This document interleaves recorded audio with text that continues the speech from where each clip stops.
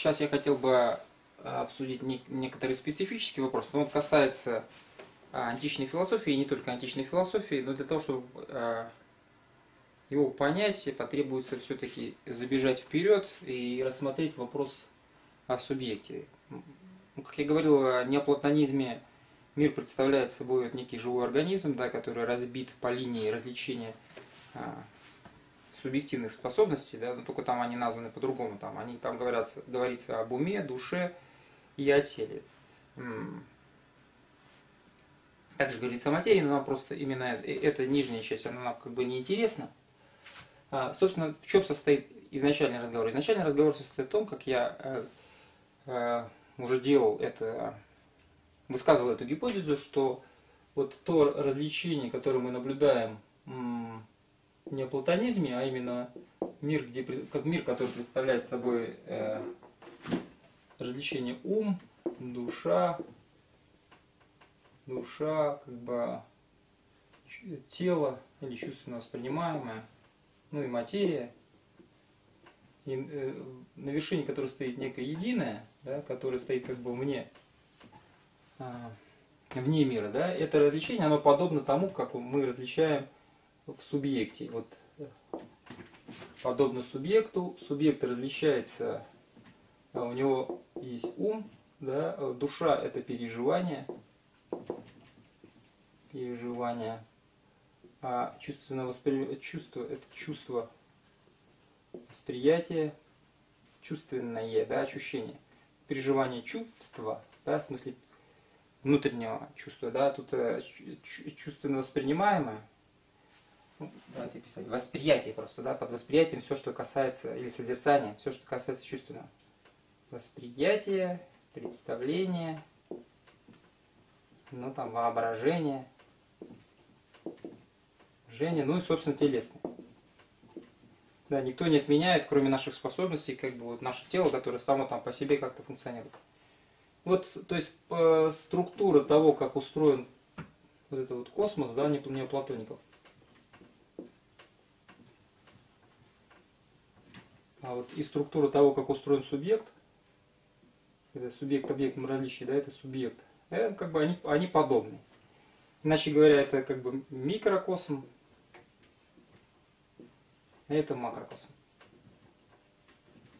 Интересно, что для того, чтобы это пронаблюдать и более точно выписать это соотношение, достаточно обратиться внимание, что вот у неоплатоников ум находится э, вне э, пространства.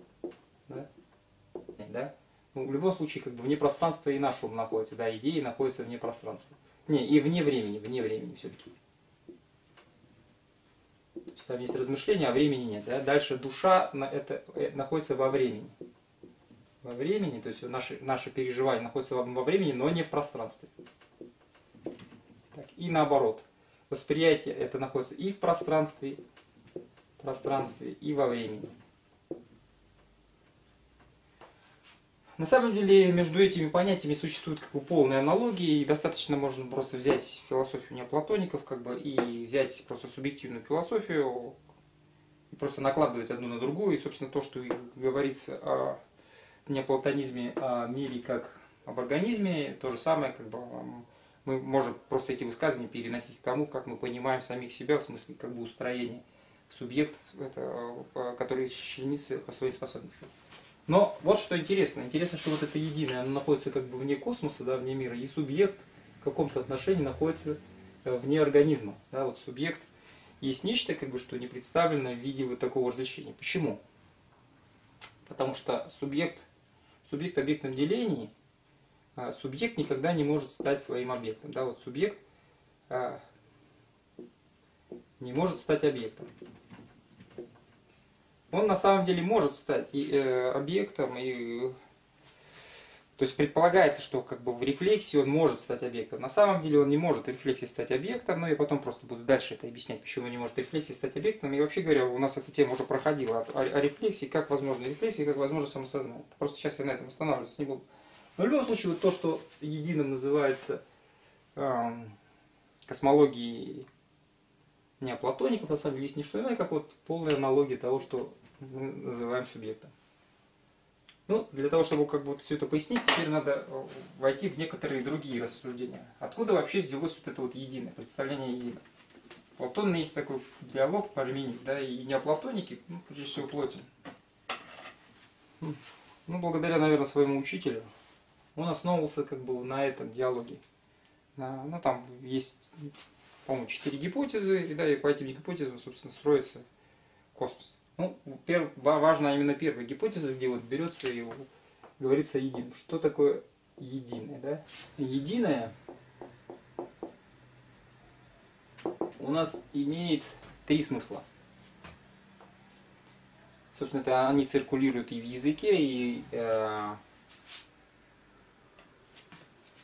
и совершенно очевидны. Но первый смысл это как бы единый в смысле единицы математической, да? Э, то есть одно по числу. По числу, по количеству. Дальше э, второй смысл это понятие единства, да? Единство. Или иначе говоря, а, а, понятие одного. Одного.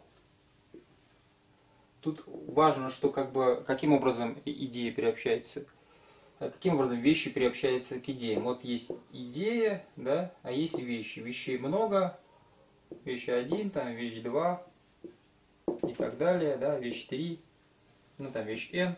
И все эти вещи приобщаются к идее как к какому-то единству, да. Мы говорим о том, что понятие представляет собой некую всеобщность, и эта всеобщность, она в силу того, что она имеет э, э, представляет собой некий род, да, и к этому роду восходят как бы вот идеи как бы как некий род, и к этому роду восходят вот виды. Это вот единство, э, понятие единое в смысле единства, да, в смысле понятия одного. И третье понимание, а это когда мы говорим, ну, потому что поскольку мы сейчас э, пытаемся анализировать античную философию, да, то э, мы говорим о единстве в смысле бытия. Единое, а, ну, можно говорить в пространственном смысле. Дело в том, что то единое, которое, то одно, да, или которое одно равно бытие у Парменида, оно на самом деле является пространственным чем-то. Да? Вот как бы вот пространство, оно представляет собой вот некий монолит одного. Да? Вот то, что называется бытием у Парменида, оно может только мыслиться, да, оно, оно собственно, как бы мыслилось уже о Анаксимандр, но тем не менее, как бы вот это единое, как в пространственном смысле, как вот монолит мира, как мир как одно мир как одно.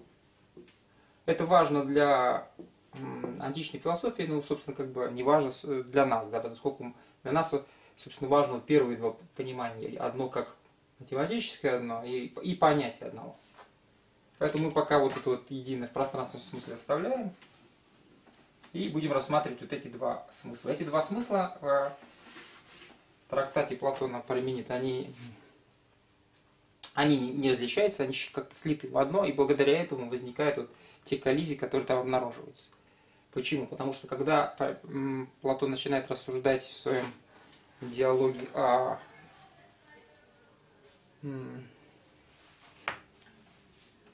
как бы о, о, о понятии единства и множества самих по себе, да, вот э, как, как ставится проблема? Проблема ставится, проблема ставит Сократ. А он говорит о том, что э, неудивительно, что м, как бы неудивительно, что многие вещи, да, сводятся к чему-то единому, да, поскольку идея единого как бы объединяет эти многие вещи, да, то есть, в смысле понятия, да. То есть идея это как раз вот здесь находится. Точно так же, как э, неудивительно, что нечто становится многим, поскольку оно приобщается к, к идее множества. Интересный вопрос с точки зрения Сократа, каким образом само само единство как таковое соотносится с самим множеством как таковым, да, и как бы как вот сами идеи соотносятся. Собственно, вот это, в этом весь пафос Пармении, да, чтобы рассмотреть, каким образом сами идеи соотносятся. Вот когда мы говорим о, о самих идеях, как они соотносятся, собственно, вот и возникает вот эта вот путаница, да, вот возникает вот, вот это склеивание двух смыслов, потому что когда идеи э, берутся как некие объекты, которые рассматриваются э, то именно мы бы на самом деле, когда бы подходили к этому вопросу, мы бы все-таки различили на самом деле понятие.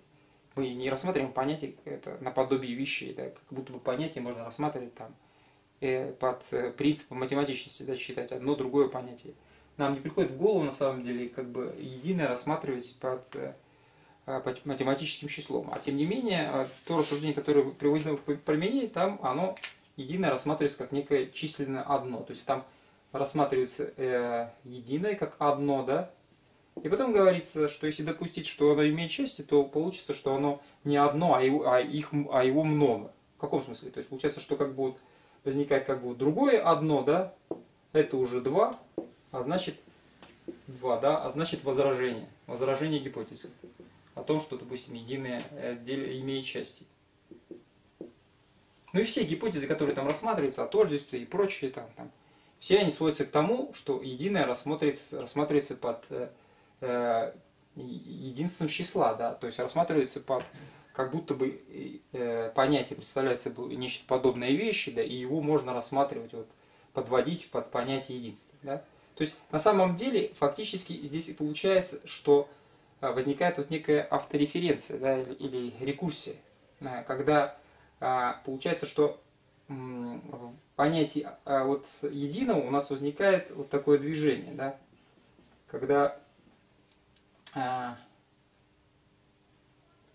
само понятие, да, вот понятие, я имею в виду уже не единицу, как математическое одно, а понятие одно, но как некий смысл, да, вот смысл, под который можно подвести многие вещи.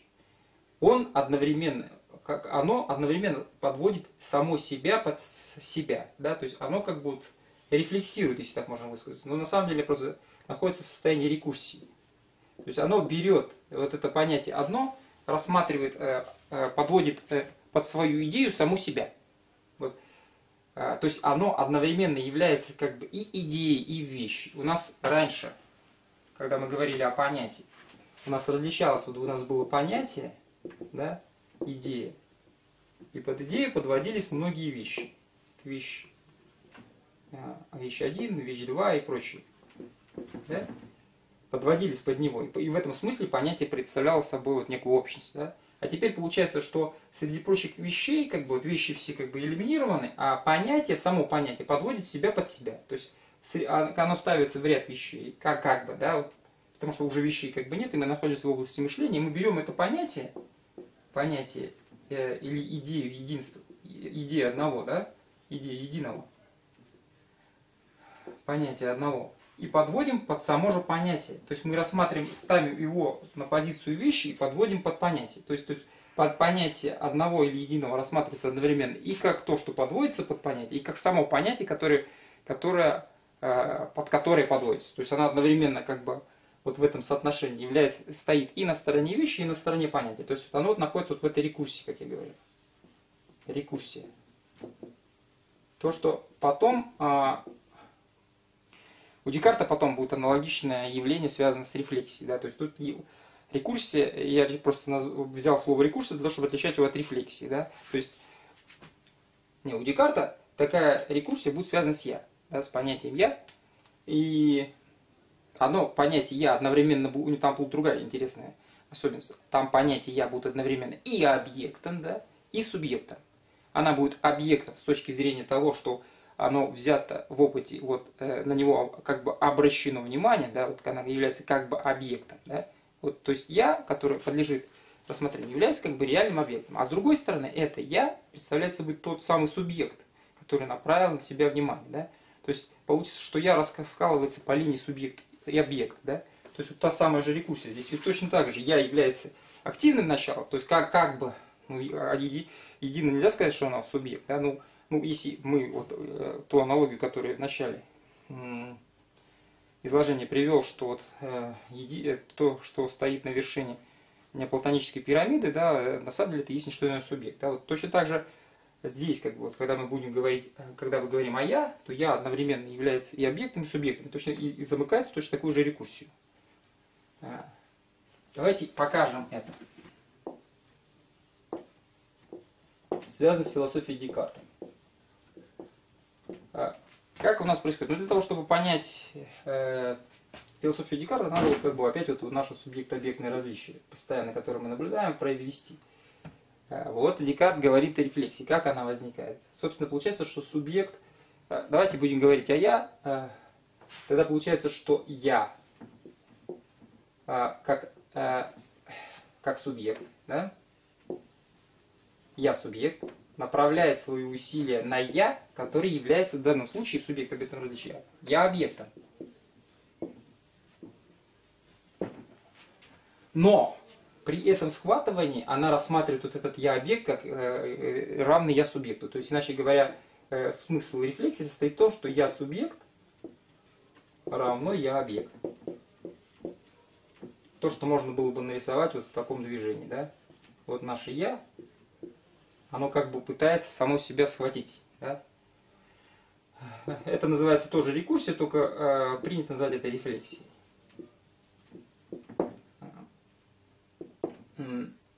Когда мы говорили о едином, нам получалось, что тоже само единое подводит само себя под само себя, да, под свое понятие. То есть оно рассматривает себя как некую единицу, которая подводит под саму себя. Тут также как бы субъект, э, он может схватить только объект, субъект на самом деле видит только объекты и доступные ему объекты, и он как бы и среди прочих объектов находит я. Да? Я для него является точно так же объектом, и вот он как бы говорит о том, что тот объект, который он схватил, объект я, есть на самом деле не что иное, как субъект. То есть вот возникает опять же такая картина. Э, где возникает такой еще, такие это, рекурсии, где еще они возникают? Вот опять же, теперь если мы отойдем от Декарта, сначала мы просто проследим весь опыт, а потом я просто попытаюсь концептуализировать, что здесь вообще говоря происходит. Третий такой опыт, да, это опыт, связанный с бытием. Ну, прежде всего, здесь приходит в голову онтологическое доказательство.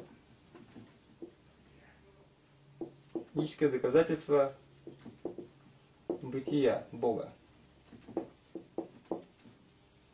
В чем оно состоит?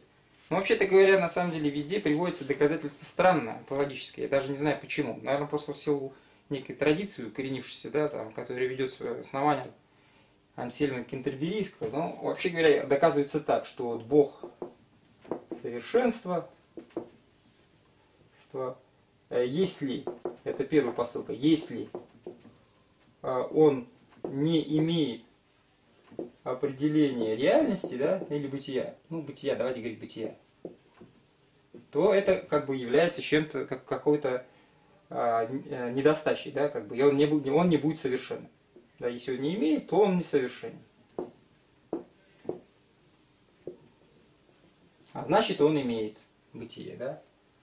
На это как бы Кант это отвечает, что, вот, что Кант отвечает, что бытие не является реальным предикатом. Реальным предикатом. И, собственно, как бы тем самым онтологическое доказательство отбрасывается, и, и все. И, это, и кажется, что из этого выхода никакого нет, а на самом деле онтологическое доказательство просто не в этом состоит. Я вообще даже не знаю, почему оно именно так строится, потому что можно было бы так сказать, он является совершенством. Давайте здесь другое слово возьмем, полнота. Бог является полнотой. Если он не имеет бытия, то он, то он не полон, да? Ну и прочее. Как бы вообще говоря, здесь э, доказательство ведется от э, некоторого недостатка, да, вот Бог является вот некоторым достатком, да, как бы является всем ну, достаток или все. если у него что-то отсутствует, да, вот какая-то дырка есть, а это под этой дыркой это как бы бытие, это один из предикатов. Если вот дырка есть такой, то он вроде как, значит, не является достатком. То есть вот это, это доказательство как бы от недостатка, она какое-то бестолковое и на самом деле не имеет отношения, как я понимаю, к онтологическому доказательству. А в чем состоит онтологическое доказательство, если мы как бы понимаем, в чем состоит рекурсия? А в чем на самом деле состоит доказательство Э, теологическое доказательство бытия Божьего. А в простом утверждении, что бытие есть. Ну, вот то утверждение, которое сделано Парменидом. Бытие есть, а не бытия нет. Ну, собственно, вторая часть нам не интересна, нам важна первая часть. Да? Потому что Бог равно бытие. Собственно, как бы вообще это стандартная теологическая формула, да, а поскольку бытие, бытие всегда есть. Здесь не требуется никакого рассуждения о совершенстве, там, это все просто лишнее. Достаточно это Достаточно обсуждать вопрос вот на этом уровне. И вот мы тут подходим о том, что такое за высказывание вот это вот бытие есть. Да? Здесь опять возникает наша замечательная рекурсия. Ведь э, бытие понимается, опять же, имеет два смысла. Бытие э, как понятие существования, да? Можно говорить, что это понятие, можно говорить, что это слово, можно сказать, что это термин, это не важно. Слово, термин, понятие, слово, термин, это не важно. И, и, собственно, это, и, собственно, само существование. То есть бытие, вот как реальное существование. Ну, как, как, собственно, как существование как таковое, да? Как существование.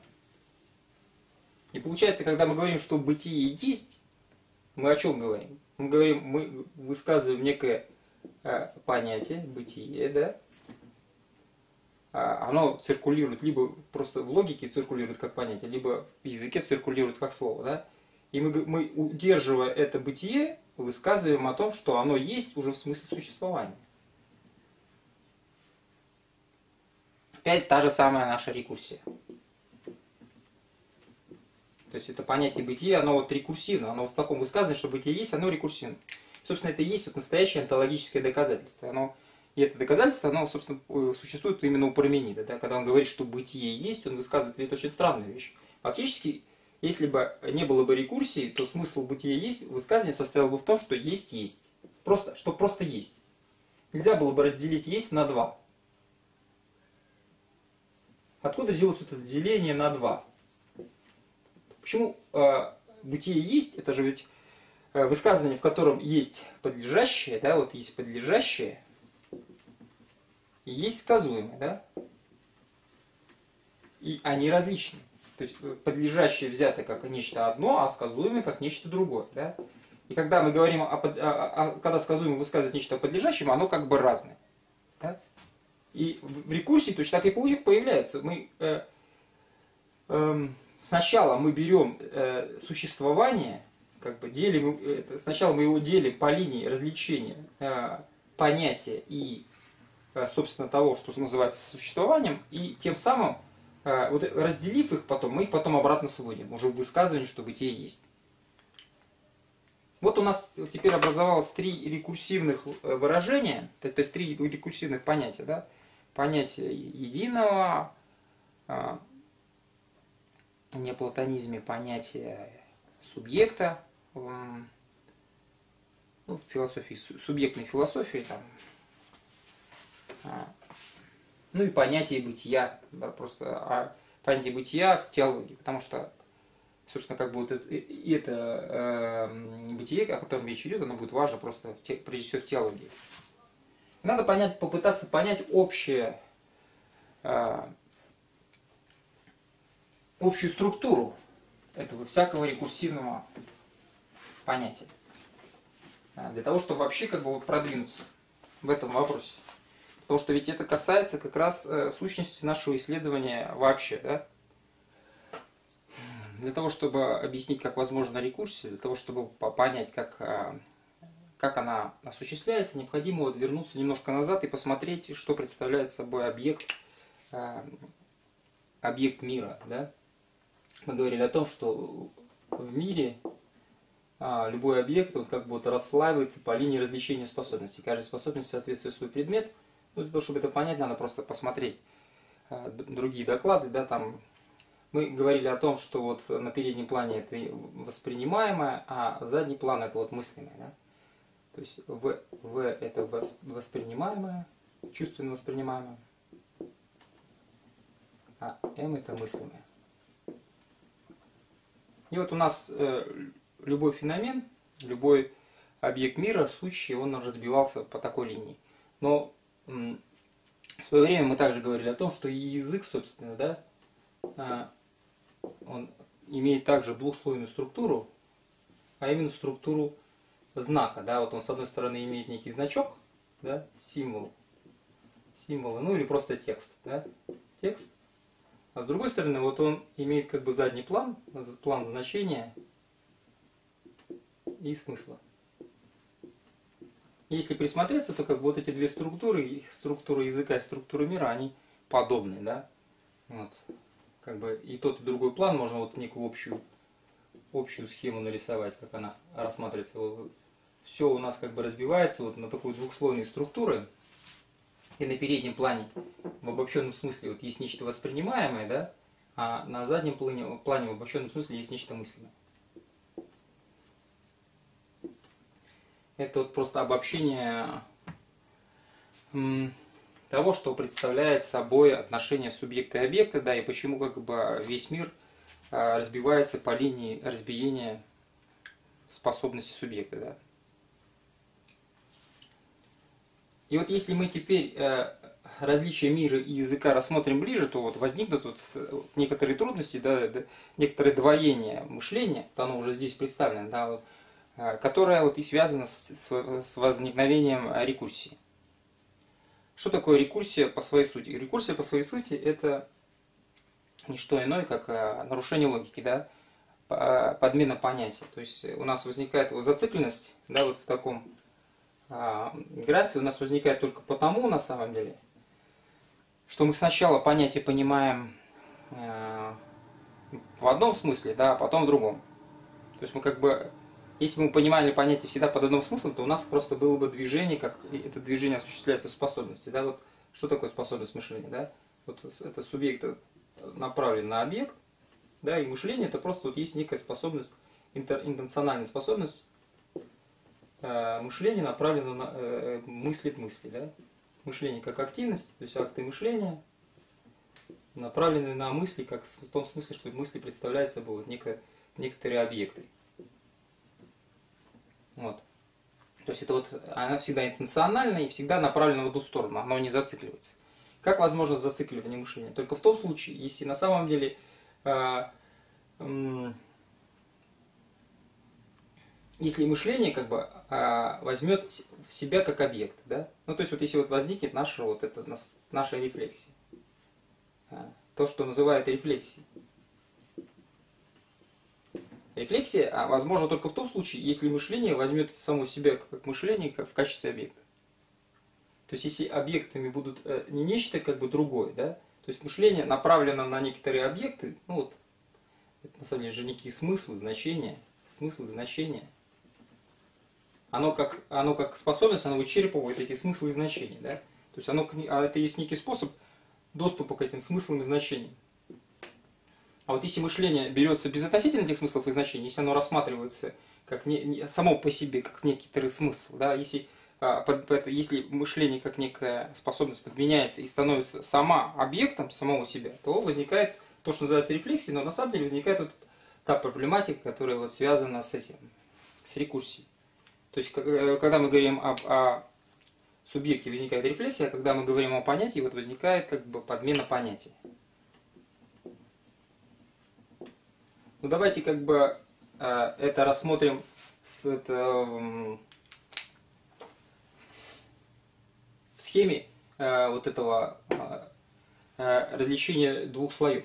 Да? Как, это, как это возникает? Как вообще возникает такое, такая подмена понятия? Поскольку язык все-таки и мир мы различаем, да, мир нам дан воспринимающей способности, а язык нам дан другой способности, способ, способности либо говорения, либо письма. В любом случае, как бы а, эти две сферы, они только подобны, но они различны, да, то а, вот у нас в языке есть, а, скажем, некий символ, да, символы, слова, фонемы, символы, слова, фонемы, фонемы, фонемы в речи, да? И когда мы э, эти символы фонемы используем, зачем вообще нам нужен язык? Мы же не можем непосредственно там объект, можно двигать объекты, да, можно передвигать стул, а можно говорить о стуле, да, можно стул использовать как слово, и, и э, мы оперируем всегда не самими объектами, да, в этом состоит наша свобода, а мы оперируем некими заменителями самих объектов, да, вот, допустим, э, либо символами, изображениями, да, ну, либо вот наиболее удобно для нас это словами, да, либо в речи, либо на письме, но в любом случае вот некими заменителями, некоторыми знаками. А, как бы и, и, как, и эти знаки у нас циркулируют таким способом, что они на самом деле дают нам смысл того, как мы оперируем самими вещами, да. обозначим вот это вот некий этот символ V2. Да? Но тем не менее, это V2, ведь оно соотносится с этим вот первоначальным э, восприятием, то есть, ведь когда мы говорим о символе, да, или там о слове, или фонему, ведь э, мы говорим о чем-то, что реально существует да, в мире. То есть вот то, что чувственно воспринимаемо. Вот это вот чувственно воспринимаемое. Воспринимаемое, а это слово, которое его обозначает. Обозначает только чувственно воспринимаемое. Ну, это соотношение как бы э, в логике известно, тут ничего такого особенного-то нет, да? Что как бы определенного рода термин, он как бы фиксирует, вообще говоря, некую, э, некую вещь там или некоторая реальность, да, в самом чувственно воспринимаемом мире. Но проблема-то в чем состоит? Что вот это слово, оно имеет смысл у нас в языке. И этот смысл а, М2 совершенно не обязательно точно такой же, как тот смысл, который э, э, существует в самом мире. И дело здесь не в том, что на самом деле в самом мире какой-то там особый смысл, а мы здесь почему-то запутываемся. А дело состоит в том, что мы, поскольку мы, это и М1 и М2 мышление, то есть М1 не равно М2, но М1 и М2 это и то, и другое, это мышление. Вот эта вот сфера мышления, а, а, они ведь на самом деле как сообщающиеся сосуды, да, они с друг другом сообщаются. И поэтому вот наше различение смысла, например, смысла единого, что она единая, вот давайте тебе просто для того, чтобы пояснить картину, надо перейти на, на пример все-таки. Вот, например, наше единое, да? У него есть два смысла. М, М1 смысл это как одно, да? Одно в смысле количества. Это математический смысл. Да? И М2, М2, это понятие одного одного, в смысле, в смысле единства. Иначе говоря, разница в смыслах может распределяться между вот этими двумя э, смыслами. А, для того, чтобы быть последовательным и в логике не противоречивым, вообще говоря, правильно, правило должно быть таким, что m1 должно быть равно m2. Да? И вот это, э, это и означало бы на самом деле, что э, мы соблюдаем правила логики. То есть m1 должно равняться m2. Но в реальном рассуждении, да, когда мы, мы рассуждаем, мы можем как бы ошибиться. Да, и на самом деле вот эти два смысла распределить между вот этими возможностями. То есть мы можем их различить. Различить на самом деле не обязательно специально, да, просто так получится, что мы их просто не увидим. Да, мы не увидим на самом деле, что мы два смысла не различили и, э, и распределили их вот таким образом. Что будет означать, если мы М1 и М2 у нас не будут соответствовать друг другу? Ведь почему они должны соответствовать? Потому что язык должен выражать смысл самого мира. Что означает, что М1 и М2 равны? Это означает, что смысл самого мира, да, как он описывается нами в объекте, да, как он описывается, э, должен описываться нами словами, он должен соответствовать тому, что мы говорим. Да, вот я говорю об объекте, это вот я высказываю какие-то слова, которые являются вот в данном картинке B2. Смысл моих слов является MA2, и этот M2, э, тот, кому я адресую свой смысл, должен понять под ним, что вот он соответствует тому, что я имею в виду. То есть, а я имею в виду M1, да, потому что я же говорю о мире. То есть, я, я вот вижу нечто в мире, там, допустим. А, мы сейчас ведем речь об античной философии, они как раз пытались высказать нечто, что, что является в мире, да, что дано в опыте, вот чувственно воспринимаем. Да, и если и мое говорение о мире, да, мой смысл тех слов, которых я, тот смысл, который я собираюсь высказать, он должен соответствовать смыслу самого мира, да, то есть тому э, смыслу, который существует в самих вещах, да, но это, собственно, есть задача любой науки, да, для, э, задача любой науки состоит в том, чтобы, чтобы исследовать э, то, тот смысл, который есть в самом мире, да, а не придумывать нечто от себя. И вот теперь а, а, ошибка возникает, когда мы эти два смысла различаем, да, вот когда вот этот мост нарушается. Да, и тогда возникает следующего рода коллизия. Та коллизия, которая, вот э, возник, это, которая э, кончается рекурсией. А коллизия, она возникает в силу того, что давайте этот рисунок еще раз начертим для того, чтобы э, обозначить коллизию.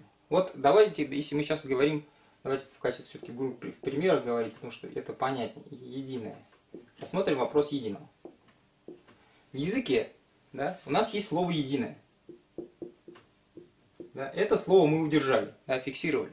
У этого слова есть смысл. Неважно, какой сюда смысл поставить. Ну, допустим, давайте сюда поставим математический смысл, что единое это значит, что оно одно.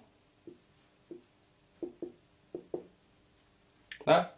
Это математическое. То есть одно это математическое. Математическое количественное одно. Одно. Но на самом деле, ведь речь, ведь когда мы говорим об этом одном, мы ведь, ведь имеем в виду а, о неких, некой идее, да, единства. Вот есть мир, да, там, а, мир. И у этого, этот мир представляет собой вот некое единство, да, где единство это как бы единое, но с точки зрения уже понятия единого. Здесь уже понятие. Ведь э, фактически так вопрос и ставится в применении, да, как бы в вопросе говорится о том, на самом деле, как вот давайте рассмотрим это единство само по себе. Вот как рассмотреть это единство само по себе. Вот берем слово единое и пытаемся с ним оперировать. Но на самом деле получается, что вот у слова, этого слова единое получается два смысла. Один смысл – это тот, который вот непосредственно связан с миром, это он, он вот там. Потому что оперируя словом единое, мы имеем в виду весь мир. Да, мы имеем в виду то, точнее, мы имеем в виду тот единство, которое э, является единством идеи, да. А, единством, а, которого вот единство возник, разговор о единстве возник как соотношение идеи и вещей. Тут как бы вот возникает идеи, да, вот идеи, да, а здесь вещи. И вот соотношение идей и вещей, то есть соотношение понятий и вещей, да, вот весь в этом э, весь смысл разговора состоял. Так вот, когда мы говорим о едином, то мы держим в голове вот именно вот это единство, в смысле идеи, да, в смысле понятий, единое, то есть единство мира, единство мира.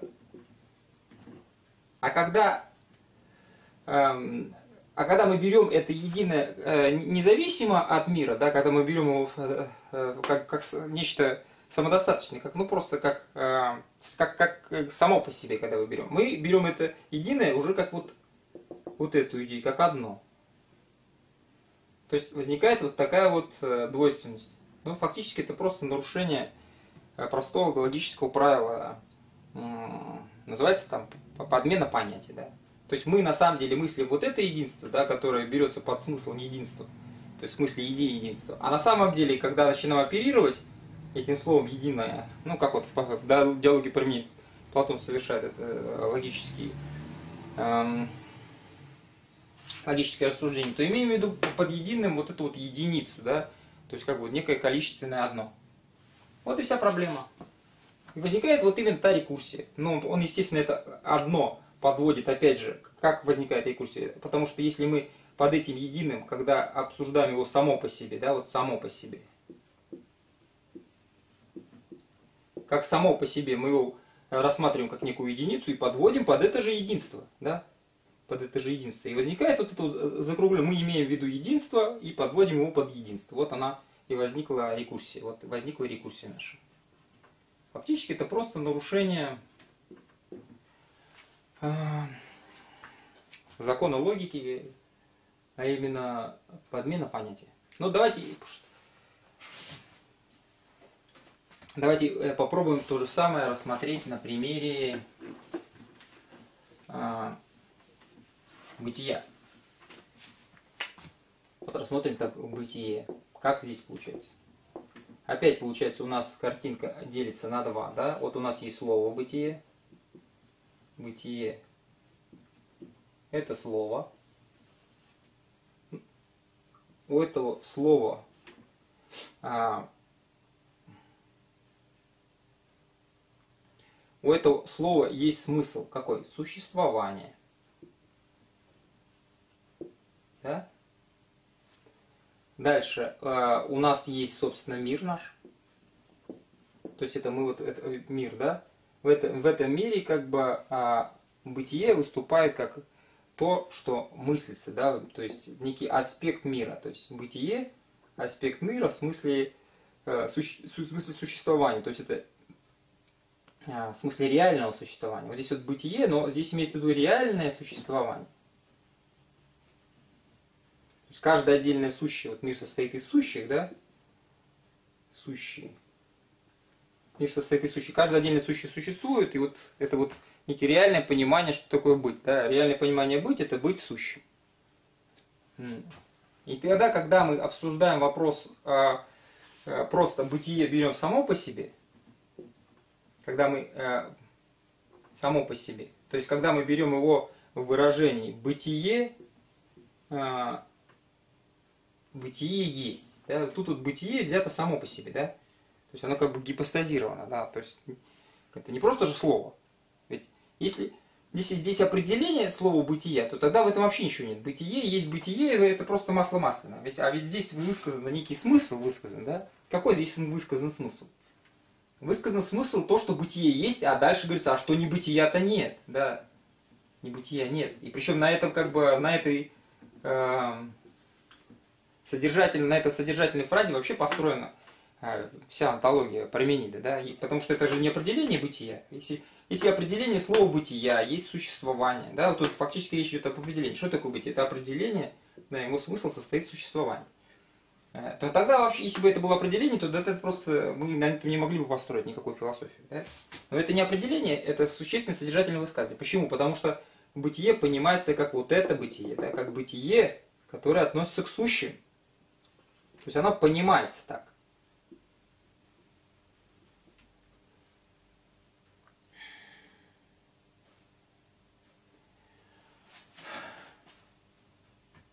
То есть фактически должно было бы э, разговор идти об определении бытия, что бытие определяется как существование, да, что и бытие нельзя гипостазировать, да, как слово.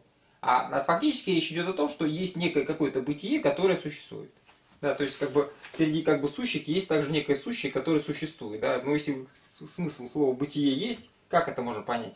Понять тем способом, что есть такое сущее, называемое бытие. И оно типа есть.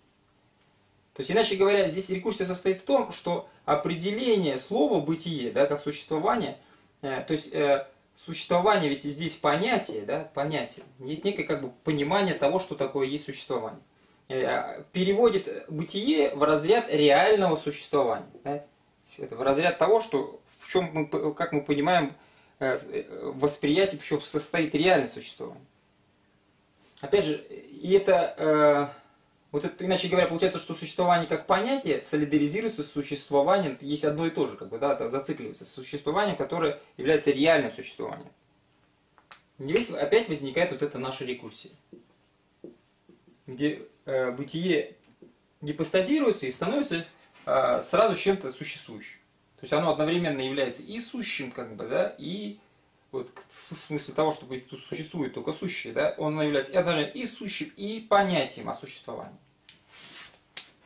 Это второе понимание. Ну, самое как для нас важное, и мне кажется, наиболее понятное, это вот будет связанное с субъект-объектным различием, да, вот когда зацикливается «я». Вот когда мы говорим о том, что в рассуждении Декарта, ведь там в рассуждении Декарта субъект-объектном различии, как бы, у нас получается, что я как бы схватывает само себя, да, и вот возникает э, самосознание. То есть такое, такая рефлексия, как самосознание. И якобы утверждается, что вот в этой рефлексии э, субъект схватывает себя. Кто такой? Ну, вот субъект это и есть я, но просто мы в терминах Декарта, да, чтобы попроще было. Субъект есть я, и он схватывает себя а, в самосознании. В чем здесь состоит проблема? А я субъект-объектное различие специально выписал для того, чтобы вот эту вот, а, фо, а, вот эту картинку самосознания, то есть такой рефлексии, как самосознание, описать, а, различить. Да? У нас получается, что я, субъект, направлен на... Он на субъект может быть направлен только на объект, да? На я объект.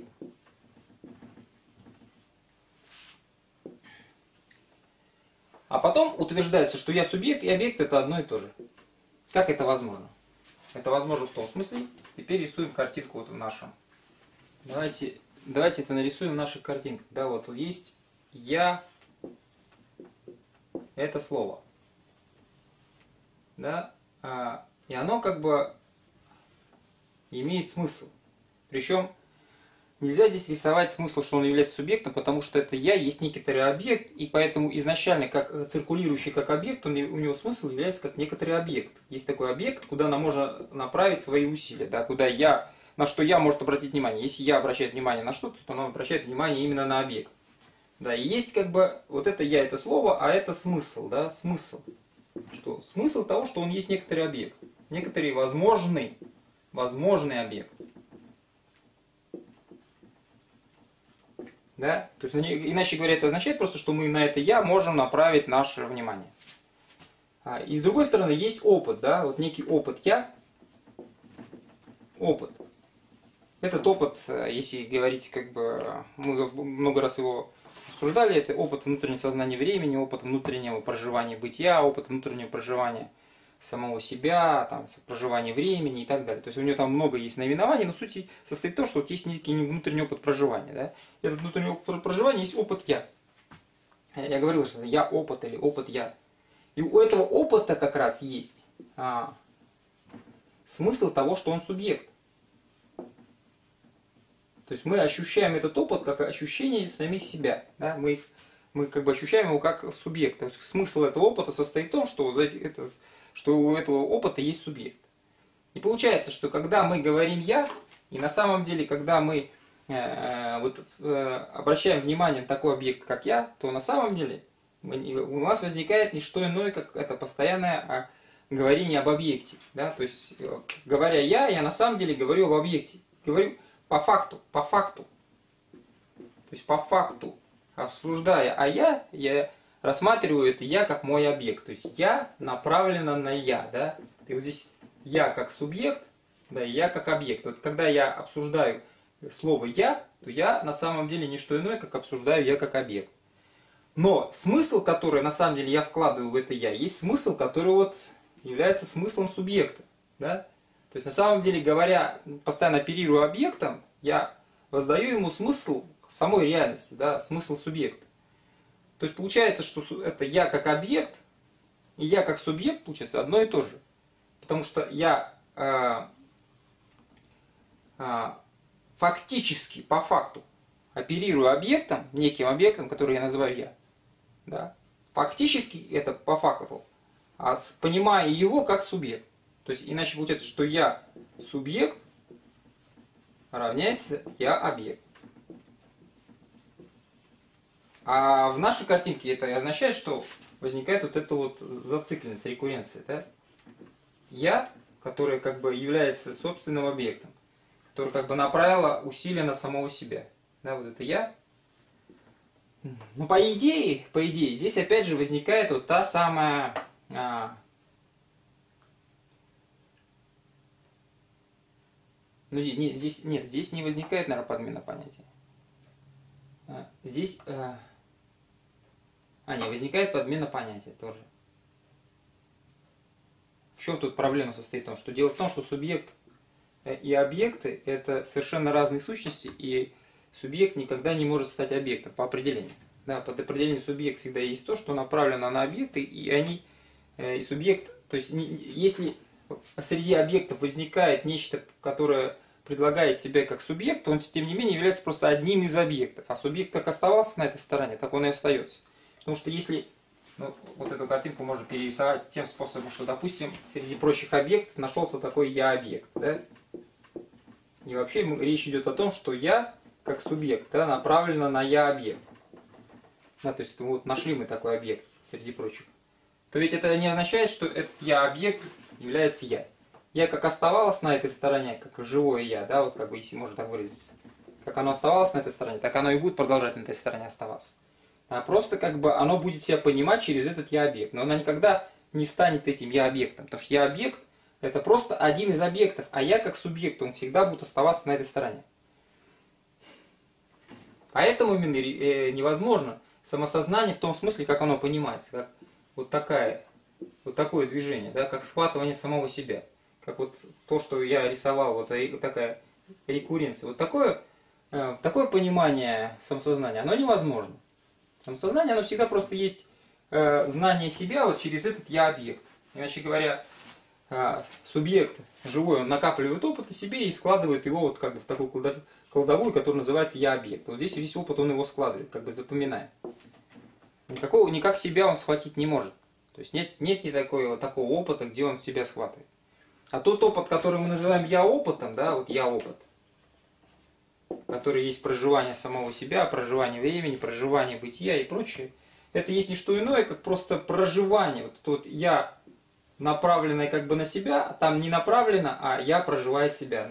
Это если мы как бы все-таки рассуждаем в теме сознания, то получается у нас такая картина. Вот есть сознание, а, оно стоит во, во, во внутреннем времени. Поскольку нечто фиксировано, все другое двигается. Да? А, я представляет собой вот такой мост между сознанием и переживанием. Потому что я как бы делится внутри себя на я переживающее, я осознающее. Да? То есть э, на сознание и переживание. И опыт проживания, внутреннего проживания времени, он представляет собой просто вот такую картину. Там как бы нету никакого схватывания, а это просто некоторый внутренний опыт. Когда нечто одно фиксировано во времени, да, во времени я имею в виду внутреннее вне времени, да, но это вот некая метафора, это тоже требуется, требует отдельных пояснений, это требует еще посмотреть другие семинары наши. Другие доклады, да, как бы здесь просто невозможно все как бы рассказать, да, это, это, просто это вот для того, чтобы это пояснить, еще требуется э, много что рассказать. Будем считать, как бы, что предыдущие доклады прослушаны, как бы, и смысл того, что вот я когда я говорю о вот этом опыте, да, а я опыте, это вот и называется, я называю я опыт. Это, вообще говоря, основополагающий опыт э, классической философии вообще. Вся классическая философия построена на вот этом я опыте. Потому что все остальные развлечения, они основаны вот на том, что вот этот я опыт есть. И в целом получается, что все, все э, здесь и здесь возникает та же самая эта ошибка подмена понятия. Это когда мы э, выдаем за субъект нечто, взятое как объект. То есть мы как субъекты всегда остаемся на стороне субъектов. Мы никогда не переходим в разряд объектов, потому что мы нечто живое, да, и мы не можем туда перейти мы как, как остаемся живыми свидетелями, да, вот как вот про свидетельство можно говорить, да, мы можем свидетельствовать самого себя, но все равно свидетель всегда остается свидетелем. Он не может как бы перейти в разряд это, того, о ком свидетельствует. И даже если он свидетельствует о себе, то он все равно есть тот, кто свидетельствует, да? Свидетельство продолжается. И вот получается, на самом деле, что философия а, в античные времена вот, связана вот с этой рекуренцией единого, единого. То есть это как бы логическая ошибка. Потом с рекуренцией бытия связана, это античность.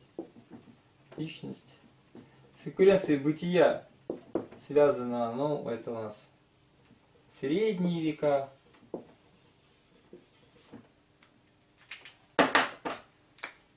Ну и классическая философия связана с рекуренцией э, субъекта или я. Это у нас ну, новая философия, новое время. Да? То есть все э, везде возникает как бы одна и та же стремление, да, вот найти некую рекуррентную сущность. Вообще говоря, как я уже говорил, эта рекуррентная сущность, вот эта рекуррентная сущность, она есть я опыт.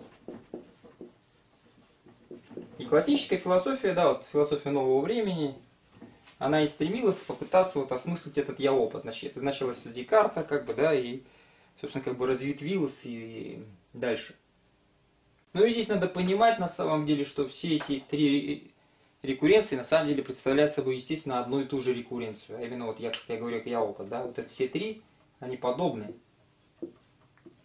И представляют собой одно и то же.